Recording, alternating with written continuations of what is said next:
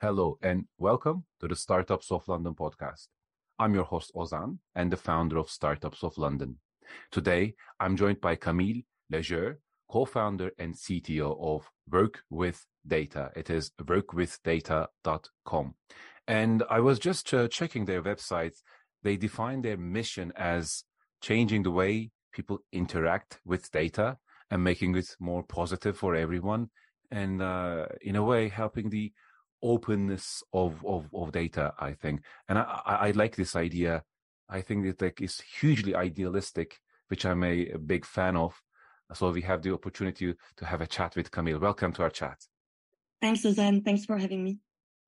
So I would love to hear what work with data is uh, with your own words. Uh, if you could walk us through what the business is, why you started this company, and the surrounding details. Yeah, sure. Um, so at Work with Data, we're creating the interface for people building the future on open data. So open data is a huge movement with over the past years, many, many organisms publishing data.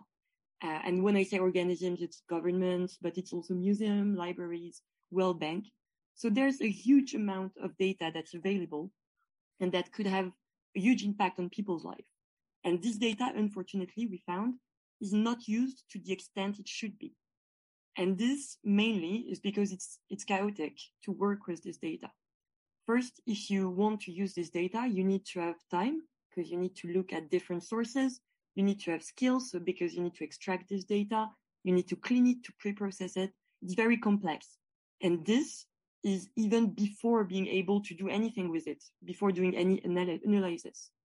So what we wanted to do is to fix this issue with open data.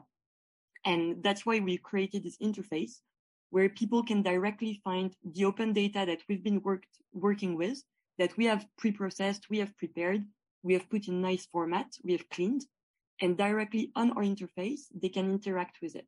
So they can create a data set that uh, fills exactly the criteria they're looking for, or they can even create graphs in maybe 30 seconds directly on our platform and then download this data or this graph so that they can work with it. So anyone with our interface, at least that's what we're aiming to do, can work with this open data that's everywhere and that nobody is using currently. What you are doing uh, reminds me of the early days of the internet for some reason. Yeah, and and it's a bit one of the the beginning of where everything comes, where everything began. You know, with the internet, everyone was thinking everyone is going to access information on everything. People are going to be better informed. They will take smarter decision. But in between, we lost a bit track of it. And if you looked at all the issues that been surrounding data over the past years, it's it's really sad. I mean, personally, I, I, I find it really sad. All those uh, data leak, privacy issues, and data has been used badly. I mean, not in the best way, but there's so much more that could be done with data. And I do think, I, I truly believe that open data is the solution to this. The more open you are, the more transparent, uh, the better it is. And that's what we're trying to do, you know, uh, putting data back in the right direction. I couldn't agree more some of your some of your resources that I'm seeing on your site are from MoMA to NASA to British Library, John Hopkins, uh, Harvard, uh, the UK government, the World Bank, and so you have a, a quite uh, an, a World Health Organization and so on. You have quite an abundance of resources that you collect the data from. But I, I think I would like to talk about perhaps the philosophy of um, the, the, this business model um, the, the, way the world is uh, changing. And I think that's a fascinating conversation. But I think before we go there, it would make a lot of sense to understand what the business model you have uh, here with, with this company is, uh, just for the people who are kind of wondering about the same thing, perhaps. So, how does this make money, right? Uh, sorry for the blunt question, uh, but I think this is particularly interesting to approach because that seems to be the main dilemma same with the um, uh, open source movement as well, right? On the yes. one hand, we have amazing value creation, opening up innovation. That's why I said the like the early days of the internet, that enthusiasm, you know, that excitement uh, just to share it with the world, create something valuable. And on the other hand, we have this incredibly commercialized landscape, not only in, in, in this area, but I was just watching a, um, a short documentary on YouTube yesterday about gaming. It is the exact same situation, hyper monetized and in, in other areas as well. So let's talk a bit about the commercial side of this business and then we can go into other domains. Yes, and definitely it's a, it's a topic that's very important and that's very complex when you work with this open data, um, with open data, how to monetize it. So what we've done is we are giving out for free the data that's uh, from open data source. So if you want to, to access the data from World Bank, you can create graphs with it on our, on our platform or interface without any fees. However, we have upgraded, we have two types of upgrades on this data. And for these upgrades, we are charging our customers. So the first uh, upgrade that we have is some intelligence on the uh, graphs that are being created. So if you create a graph, uh, like an analysis of the inflation in the world over the past 30 years, yeah. what we do is automatically we do a, a smart um, analysis on it.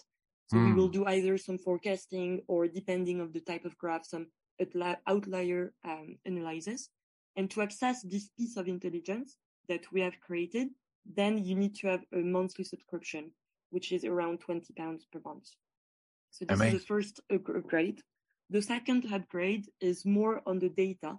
So open data is amazing, but sometimes it's inconsistent and it's not complete.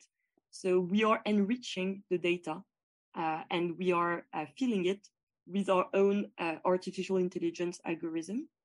So for instance, if you take data of companies, so you have a lot of data about companies worldwide and some companies are, are public. And for those ones, you have the revenues that they're making and the number of employees.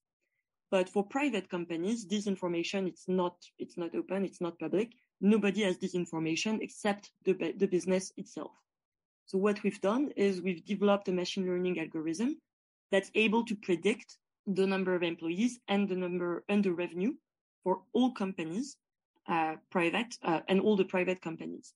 So this information, if you want to access it, then you need to, uh, to have tokens so you buy monthly, it's a subscription as well to get tokens. And depending on the number of, of tokens you have, you can download uh, a number of rows containing this information that we have created using machine learning. Amazing. So uh, do, do you think this would be accurate to say, yes, uh, what you're doing is using open resources and uh, combining data in a way, uh, collating it and, and, and then uh, processing it in a way so it's intelligible for people uh, so it is open in that sense, but it's not open in the sense that it is free for everyone. Is that accurate? So the data that we get free from uh, from Open Data Movement, this one you can access it for free without any restriction. But when we do on top of it machine learning algorithm to enrich and to make it better and more complete, for this data, yes, you need to you need to pay. But, but we're think... not taking open data from the MoMA and making you pay to get access to this data.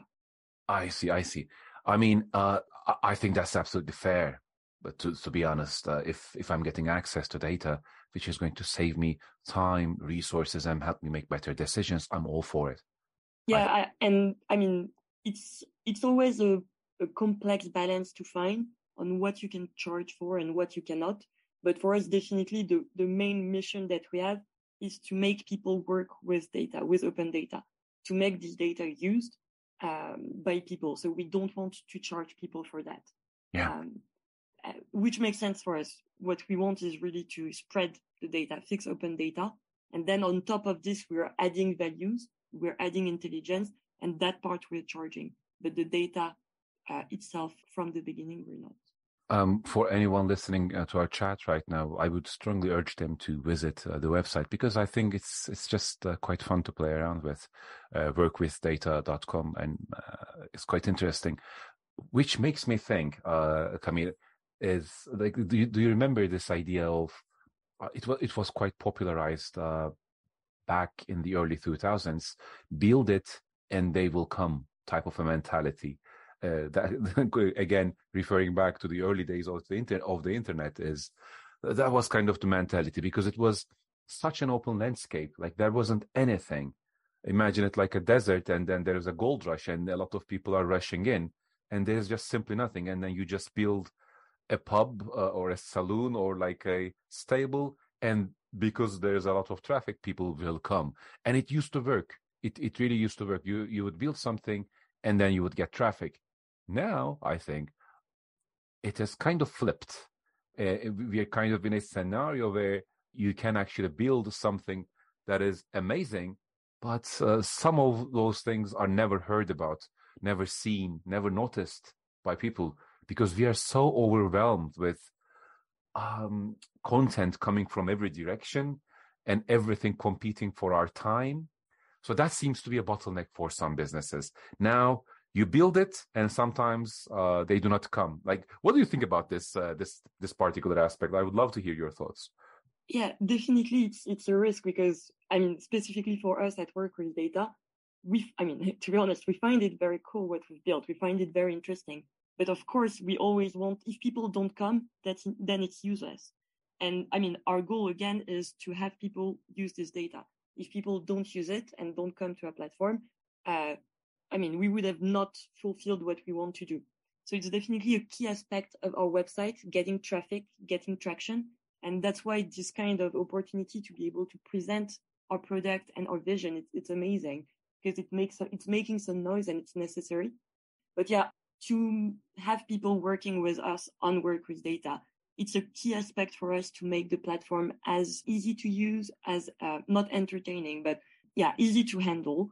And we're we're doing a lot of stuff on this. For instance, we've built uh, communities where instead of being overwhelmed by you know every content created on the platform by other people, you can join a community on a specific topic so that you can just follow this community and uh, see what this community is is, um, is, building. So instead of being overwhelmed by all the open data on, on our platform about uh, inflation, environment, and so on, you will go on your community page, for instance, on art, and there you would see the content only on art.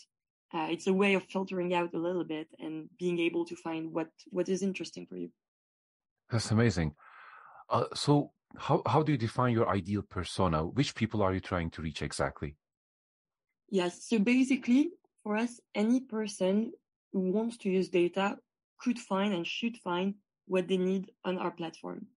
Uh, and we really want to make it easy. So you don't need skills, technical skills. It's very important for us that non-technical person need to be able to use our platform. Um, of course, if you want to be, I mean, the, the ideal persona is someone who's a bit passionate about data and knowledge in general. If you're not interested at all into seeing graphs, uh, I mean, of course, it's not going to be the right platform for you. But other than this, um, you should find what you need on work with data. And I think we've seen it recently, especially during COVID. Actually, a lot of people enjoy watching graphs and understanding what's going on. Every day, I had, you know, even my father was, was, I mean, not the youngest person on earth, of course, was looking every day at graphs about number of cases declining or increasing trying to understand the difference between the variation and so on. So there's a lot of people, a, a, huge number of people who actually could find it interesting to look at graphs and, and use data. But for the moment, the real issue is how to access it and how to play with this data easily without technical skills. What makes you particularly interested in, in, in building this, but not something else? So, with that, uh, maybe tell us a bit about your background. What uh, what in life has brought you to this moment? Yeah. So originally, I studied engineering. So I've always been interested, you know, on the technical part of things. Mathematics was a huge, huge thing for me when I was younger. Uh, so I, of course, when data came around, it was very interesting for me. I loved coding. Uh, I loved doing analysis. But on the more personal side, I've, I'm really of a, I mean, I love trivia. I love quizzes. I spend hours on Wikipedia, you know, reading things because I, I love doing this kind of thing. I, am quite curious, let's say. Um, and I'm very interested into theater, for instance. Mm-hmm. Uh, so not only geeky things. And it was also a way of putting all of this together. You know, especially during COVID, I realized that I love data. I mean, I was working uh, with data before, and many people wanted were interested by the output of it, but to get from the data to the output, it was quite complex. Uh, so that's a bit where the the idea came from, how to you know uh, spread the news about open data and how amazing it is, even for people without technical skills, using my skills, which are technical. Uh, do you have any co-founders? How many people are you working with? And um, if I might ask, how long has it taken for you to build this product? Yeah, so we're two. We're two co-founders. Uh, Laurent is the second one. Uh, we were working together uh, with data uh, uh, in an advertising technology company. we had been working for five years together. He also has a engineering background, but also with a bit of entrepreneurship. So he's a bit more um, used to entrepreneurship than, than I am. And we began working on this as a side project during COVID, co- the, the lockdowns. It was a bit our, I mean, our hobby uh, during the night when we were a bit bored with Netflix, more or less. And, very productive hobby. very productive one. and uh, in the end, we quit our job last December, uh, so nine months ago. And then we've been full time on this since then, working on creating this first iteration, creating an MVP, an interface that was working, getting some first sources of data ingested into our knowledge graph and doing first, you know, communication, getting first clients. So now we're at the end of this first loop. Let's say we have the interface, the business model in place, uh, our first clients testing. Um, and yeah, it's been nine months, nine full months. Um, so how are you sustaining the business financially? Do you have enough clients, enough uh, of a user base that is providing a meaningful revenue for you to sustain this, or do you have uh, an external source of investment, such as a seed round or something similar? Yeah. So for the moment, we're not yet into the seed round. It's something that we're planning to do in the coming months uh, to get uh, to get funding. Because for the moment, we are get we have first clients, so we have first uh, source of revenues that are not yet balancing the cost, for instance, of servers and so on. And uh, yeah, in the coming months, we will be looking for more investment to be able to accelerate, uh, get more people on board, of course, and be able to go f- uh, further and faster. Uh, one of the particular things that kind of surprised me uh, in in similar projects that I have, because I have interviewed a lot of founders, uh, as as you're aware, and I have myself worked as a founder with some companies. The going back uh, to pre- the previous question that I have uh, raised, uh, build it and they will come mentality and and and the change that's happening around that. Now the technical challenges are quite valuable to solve, and I think this is the dilemma of the situation. You you end up solving an incredible, uh, difficult problem, creating value, but by itself that does not mean it's a successful business, unfortunately, because you still need for people to be aware of this, which then makes the job of the co-founder of the business something different in some cases than what they thought it would be in the beginning. Um, if, if I don't know if that makes sense, but basically you start out as a, for some people, they start out as a CTO and then they turn into a growth marketer, which they focus on content, uh, reach outs and so on. So I think growing the business uh, is an inevitable necessity for any startup, wherever it is.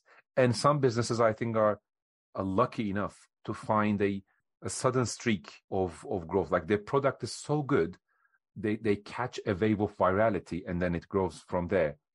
But some for, for, for most of the startups, in my experience, that's not the case. And they have to do manual actions, let's say, in terms of driving traffic. So what are your thoughts on how a founder in your case in this in this company work with data or let's talk about the company resources maybe that's a better way of putting it. Uh, what percentage of com- of your company's resources are you planning to focus on growth and marketing and content and and reach out efforts? And what percentage of it should be dedicated for the engineering side of it? Yes uh, it's a very interesting question and it's definitely a key topic for us uh, it, it, definitely rings a bell what you were saying about co-founders that begin doing a bit of everything, which is the case for us because at the beginning we were both, uh, so Laurent and I, working on the interface and the coding part. So we spent a lot of time uh, doing technical things because it's a technical project. We need to, you know, we needed to validate the technicality that it was possible.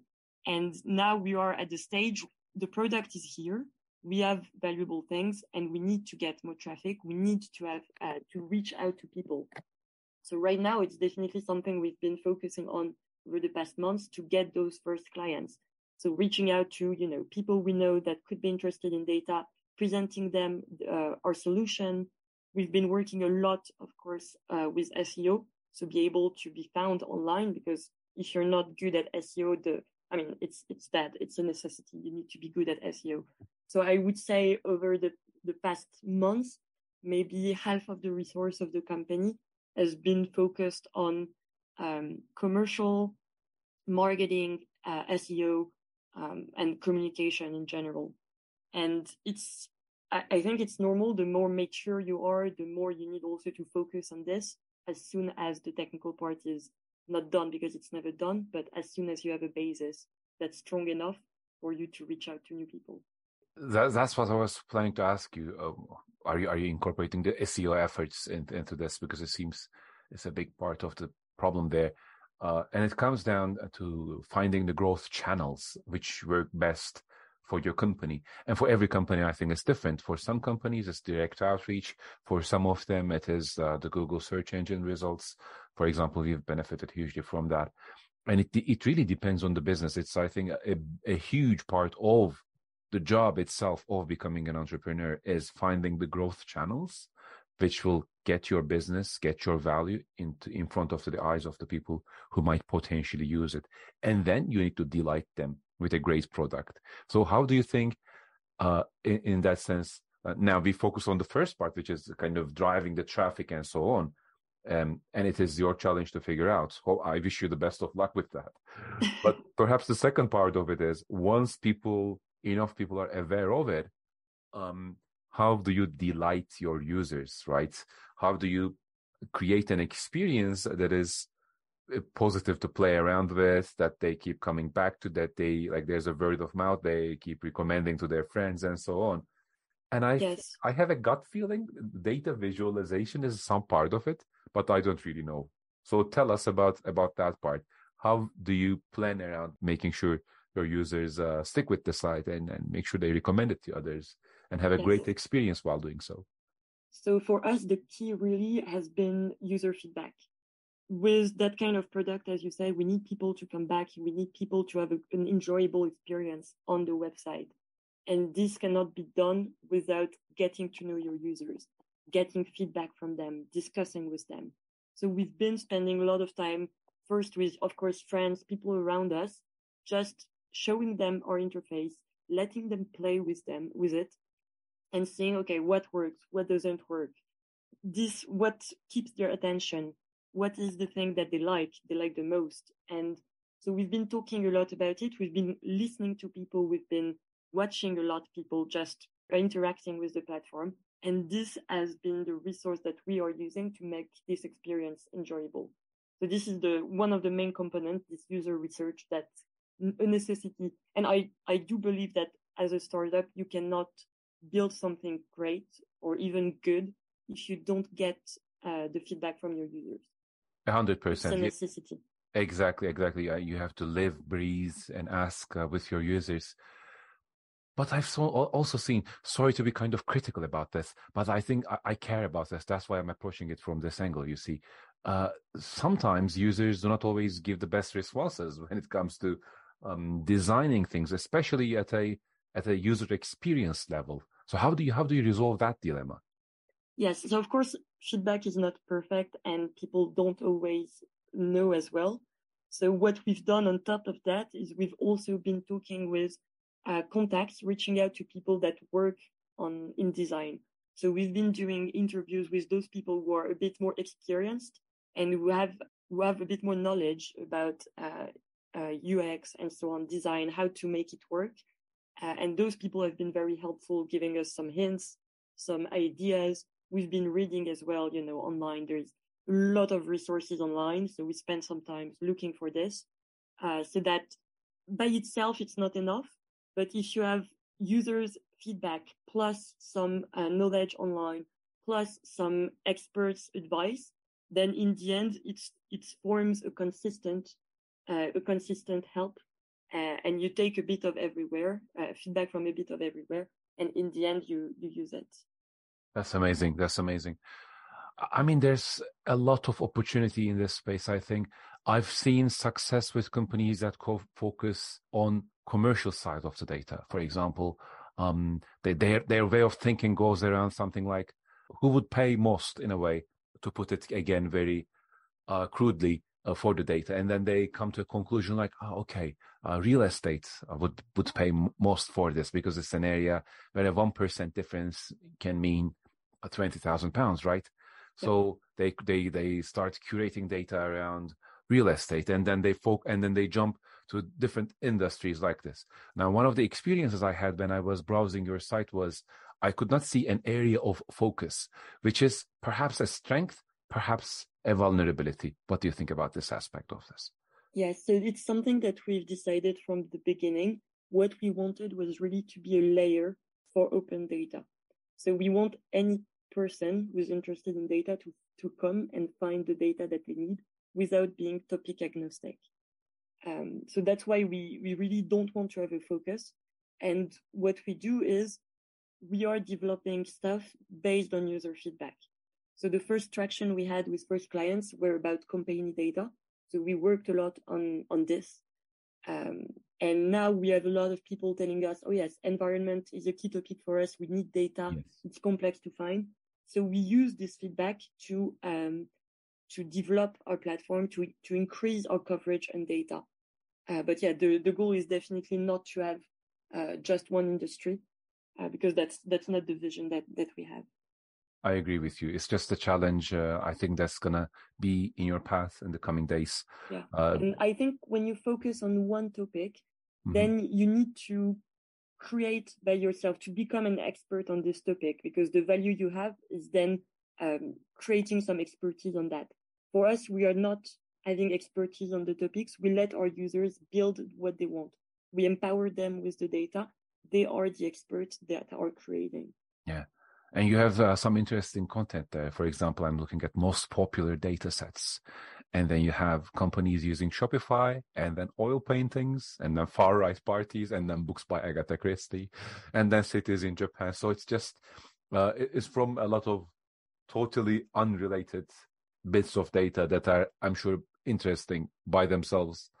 Uh, and I think it's, uh, it's, it's, it's a very large spread, which might really work out. The risk with that is then there's always, it's always easier to curate for something of a, for, for a specific persona and make sure that they have a great experience versus being this resource for all parties and everyone.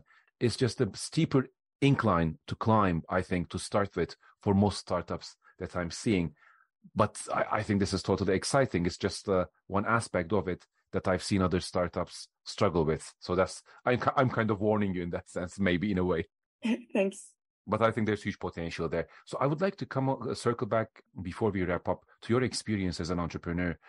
So this is your first startup, uh, am I right? And your your founder have uh, worked on other startups before. So yeah, it's my first startup, and uh, and my founder was working yes in the in the industry of startups in uh, ESCP Business School in Paris. So I would just like to ask, so far in your journey, what has uh, surprised you? What was unexpected for you that uh, you perhaps thought it would happen different and so on? I would love to hear your personal journey on that as we wrap up. Yeah, I think what has been the most surprising would be the things, the extent of things that you learn at a very fast pace. I was not expecting to learn that much in a bit less than a year because you know I was thinking, yes, I'm going to create this startup, I'm going to work on this data, and it's going to be amazing. And then you discover that building a company is so much more than this. That you know you do a bit of finance, you do a bit of accounting, then you do a bit of communication, and all of this you have absolutely no experience, and and everything depends on just how re- resilient you are. So yeah, I learned a lot about just resilience and being able to go on and try and not being an expert, but but being okay by with not being an expert, but just going on and carrying on. Uh, so I, found it very very interesting, and you discover a lot of strength. I think when you're in that kind of situation, and yeah, I've loved it. And also, second point that I just thought about is second surprising thing is how non-linear it is to develop a startup Because when you hear in the press about startups raising millions and millions, it's always very easy. Like we had an idea and we've made it and directly we get the money, we get the clients. But behind the scenes, it's so much more, so much more trying something, then getting feedback. So you change the thing and you update your vision and, and little by little, by little steps, you get somewhere, but it's not as linear as what I thought it would be. Yeah, it's very enriching. You're a hundred percent right on, on, on that. And I think it's a, like you beautifully put, it's, it's non-linear. Uh, and it's just uh, it's just a mess. The the process of building any company, any startup, is is perhaps similar for a lot of uh, complex and creative other type of endeavors. But uh, this is what we know, so I, I can definitely agree hundred percent with that. What happens, I think, is because of the way the human brain works and the way we process time and the way we process causality, we need desperately uh, from the from the standpoint of an audience to hear it in the form of a story so it makes sense for us right.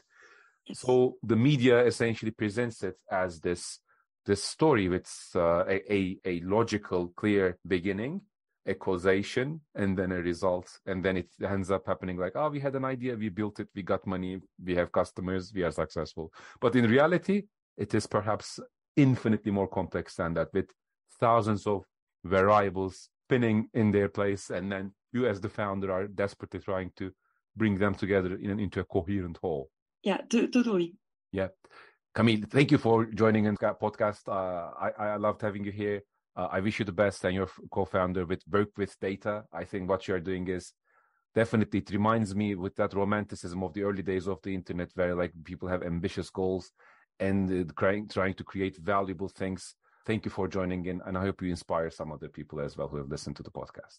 Thank you very much, Ozan. It was great talking with you. Thank you. Thank you.